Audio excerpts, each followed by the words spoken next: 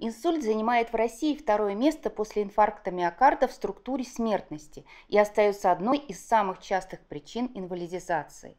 При этом это заболевание, наступление которого можно предотвратить, если вовремя начать профилактику, а своевременное начатое лечение помогает избежать тяжелых последствий заболевания. На протяжении 35 лет мы поставляем на российский рынок препараты для лечения пациентов, перенесших инсульт а несколько лет назад запустили производство на нашем заводе в Ярославле. Компания ведет ряд крупных многоцентровых исследований в области неврологии, в том числе и в России, изучает принципиально новые терапевтические подходы.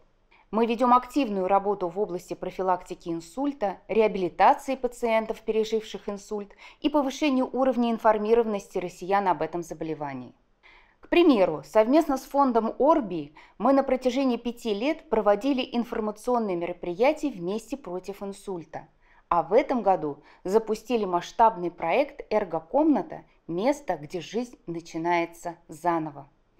В 2019 году 12 эргокомнат будут открыты по всей России. Эргокомнаты – это специально оборудованные кабинеты, где пациенты, пережившие инсульт, обучаются навыкам самообслуживания. Этот проект поможет нашим пациентам вернуться к активной и полноценной жизни. Это наш вклад в достижение цели 80+.